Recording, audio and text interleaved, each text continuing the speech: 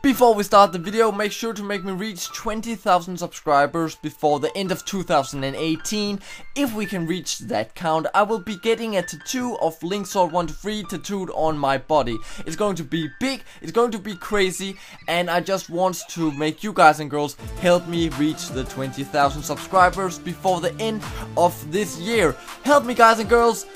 Hey guys and girls, I'm Linkssword123 and welcome to today's video which is going to be about 5 facts you didn't know about The Legend of Zelda. It's going to be such a nice thing to reveal all of these facts that some of you guys and girls never heard of. I'm probably sure that some of them will surprise you and some of them you might have heard of because we are all digging around the internet, right? So let's jump straight to number 5 and see how that turns out. Number 5 the unreleased Zelda game, also called Ura Zelda. Ura Zelda was an expansion for Ocarina of Time planned for the N64 DD. DD stands for disk drive and basically made the player able to play a more expanded version of the game that was in the original N64 console. The DD was an attachment for the console and basically made the player able to play a way more detailed game. For example, in Ocarina of Time that we are going to talk about today, uh, more temples would uh, appear around in the game, more items would be able to gain, and also it would be a way more detailed game. For example, if Link was walking on sand, his footsteps would still be there if he was going to another area and come back again. His footsteps would be leave there as like he were the first time. It's a pretty nice detail and such a shame it was scrapped because of the lack of production of the N64 DD. The DD was a huge failure when it was supposed to come out back in Japan, uh, but sadly it never made it out to the stores in America and Europe. And because of that, no Ura Zelda was created. We know about Ura because some fans talks about it and some ideas from the beta of Ocarina of Time have surfaced. But still, no Ura Zelda was never produced and it was such a pre-productional footage that we saw that it could be just a prototype for the original Ocarina of Time. So maybe we don't know, but fans still think that the GameCube version of Ocarina of Time contains a Ura Zelda version, which is called the Master Quest. The Master Quest is a harder version of Ocarina of Time with kind of new arranged dungeons, but still it's more like a more different dungeon design, but it's still the same temple, so I don't think it's Ura all at all. It's more like a just a harder version of Ocarina of Time, like the word says Master Quest, right? So no Ura is available for the public, sadly. Number 4. Burger King once released a Nintendo kind of series of toys that you could get with your meal if you bought a child meal or something like that. I don't live at the time where I was uh, eating at Burger King because here in Denmark we didn't have that uh, company yet. So, these pictures that you can see on the screen right now shows you Link and some different Dekus standing around him that he should be able to slice in pieces. It's a pretty nice toy but it's really primitive made and it's also really simple. I don't know if any of you guys and girls have it out there, but make sure to write in the comment section down below if you got it, and if it is the money worth, because you can still buy it off eBay for some bucks. I guess $20 or something like that. But still, is it the money worth? Is it pretty nice to have? Or is it just a collector's item for, for fun? Just to think about Ocarina of Time, right? The toy here is pretty nice made, but still, I don't understand why they put the Deku Princess in there because she's not an enemy to Link. She is actually the one who helps Link in Majora's Mask.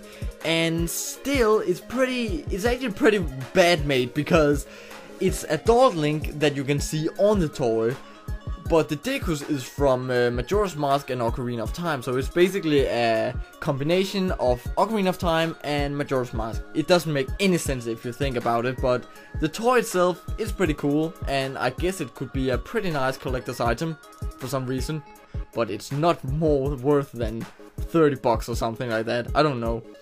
Number 3, Wind Waker was supposed to look way different. As you can see on this prototype that runs in the background of this video, Link was supposed to be adult in Wind Waker. If you don't know this video, it's actually a really prototype of the Wind Waker. It's a teaser for the GameCube console, and this video basically shows Link fighting Ganondorf. It was a part of a VHS, a DVD, I don't know what it was, but it was for some kind of a prototype video uh, that was a commercial for the GameCube console. I think it looks pretty nice and I really don't have any idea about where this place should be. It looks like Link and Ganondorf is fighting at a unreleased place of Wind Waker or maybe this is just made for the specific video, I don't know. But the only Zelda game that was released for the GameCube was Wind Waker also Ocarina of Time, but it's more like a reboot or something like that, just to get more fans for Ocarina of Time. Nice. Uh, but still, Wind Waker was uh, supposed to have Adult Link. Also, some really early concept art from the Wind Waker shows us that Adult Link was supposed to be in there and you should be able to play as him. Sadly no screenshot is released of uh, Adult Link in the Wind Waker, but uh, some few mods out there actually allows you to play as Adult Link kinda looking guy uh, around in Wind Waker. It's pretty nice, but if you think about it, Wind Waker with a adult version of Link, it would be pretty nice, but I still think Toon Link fits slightly more well. Maybe it's just because we're used with that figure in in the game, but it's a pretty nice thing, really. Number 2. Twilight Princess was supposed to be released on a Nintendo DS system, or maybe it wasn't released on there, but a cartridge of the Twilight Princess was actually released as a promotional item for the game. You on this cartridge you can uh, see trailers, you can see some different credits, I guess you can, kind of thing. But it's pretty nice actually, just to see trailers on your Nintendo DS system uh, of Twilight Princess. I guess this is uh, extremely great promotional item because it's actually a game that has some value here. It's not just a little banner or something that you can get in GameStop or something. It's really nice and it's extremely expensive on eBay if you want to buy it. It's like maybe mm, yeah 10,000 bucks or something like that I just guess here but it's more than that so it's really really expensive I really hope it's money worth Mm, for some reason, I guess this is a great collector's item and it's really nice because it also comes with a box of it. So it's not just a cartridge, it's uh, basically a box that contains this cartridge. So it gives it more value and more more value for the collector right it looks way better with a with a cover on it so uh, yeah definitely something that i didn't knew before i read about it and now to number one Link has appeared in a fighting game which is not Smash Bros. It's called Soul Calibur and this game is actually uh, something that I never heard of before I bought the game on eBay for some years ago. This game means nothing to me because it's not a Zelda game. It, it, I don't I'm not a huge fan of fighting games. I've been playing Tekken Tag Tournament for for some time, but yeah, it's not something that uh, that wakes something up in me, man. Because I'm used with Zelda games, I'm used with Grand Theft Auto, and fighting games like that is not something that I like to play. But anyways, this game seems to be pretty nice. It was for the original GameCube version, and I really like this game actually because you can play as Link, and it it really looks great, and the graphics. Wow man, it looks pretty nice of a GameCube game, right? So you can see a video of it running here on the video. It looks nice and just with Link, it looks pretty nice because the model of Link is actually not just an old version of Link from Ocarina of Time or something. He really looks um, modern, if I can say it like that. He could surely uh, appear in modern Zelda games or something like that. I actually like this model because he looks like a real guy here, kinda, because uh, the ears and the eyes looks not as a normal person, but you know what I mean, right? Um, Soul Calibur also have different uh, versions of the game. If you bought the game for Xbox, I guess it's uh, Soul Calibur 4 maybe.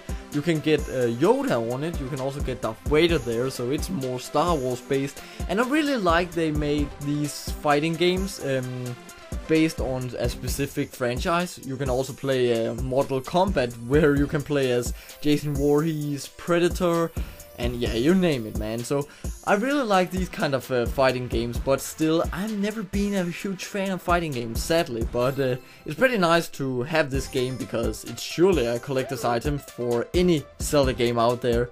For any Zelda collector out there, sorry, right?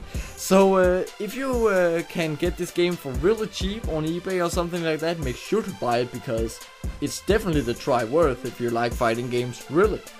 So that was today's video guys and girls, I hope some of these facts surprised you. If it didn't, make sure to write it in the comment section. If you have any more facts, make sure to write it in the comment section. And if some of them surprised you, make sure to write that in the comment section. And also make sure to throw a like after the video and make sure to subscribe to the channel because if we can reach 20,000 subscribers before the end of 2018, I will be getting a tattoo of Link's Wonder Free. It is so sick and I don't know why I promised you guys and girls that but it depends on the subscriber count in the end of 2018 so make sure to help me with that so we can get the Link Sword 1 to 3 tattoo man. See you in the next video guys and girls. Bye